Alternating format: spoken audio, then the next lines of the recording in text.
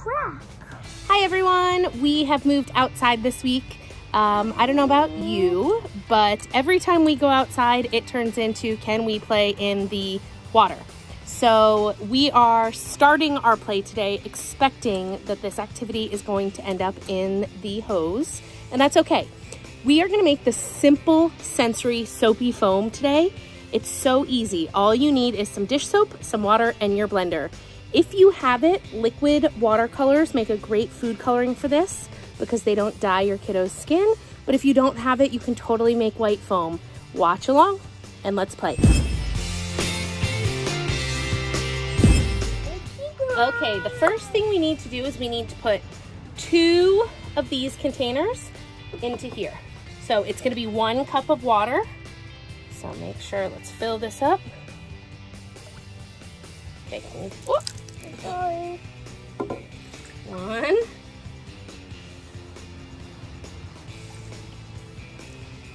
Gently put that in. Good, good job. It's too hard. We're gonna put a little extra in just in case. So one cup of water, and then Lawton, we're gonna put half a cup. Can you hold this? Okay, hold it nice and straight.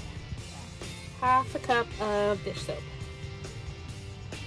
This is doubling the recipe because our bin is a little bit bigger, but um, you could do it with half a cup of water and a quarter of a cup of dish soap too. That would work.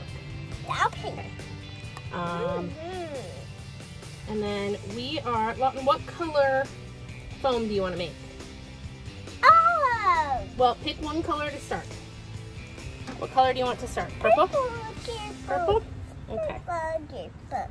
Purple, purple. Careful, careful, purple. And you just need a couple of drops. I want to hold Okay, squeeze it a little bit. That's enough. Good job. Okay, do you want to help press the button or is it going to be too loud?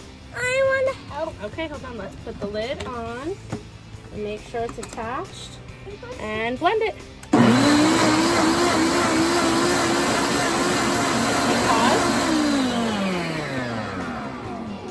Gonna keep blending until you get the really thick foam inside your container. I'm not gonna make you listen to our blender this whole A time. little bit more. So we have finished blending. Um, the, this is what your foam should kind of look like. It's really thick and gooey. Lawton, please don't put your hands in there. There's a blade in there. Our blender has the removable blade. So don't forget to take this out before you pour your foam into your kid's sensory bin. Lawton also went and he collected his um, dumping cups from the bathtub. That's a great activity to play with. But here you go.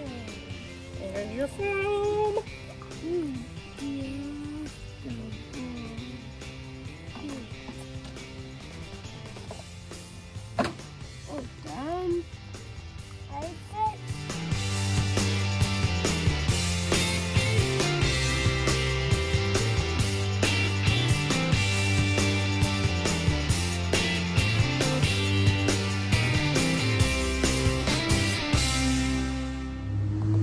it really is that simple. Soap, water, and some food coloring. We use liquid watercolor, and I'm sure we're gonna have quite a while of playtime here. Are you having fun? Yeah. Yep, the hose is coming next. Have a great week, everyone. Oh, that's soapy. Don't get it in your eyes, it'll hurt your eyes.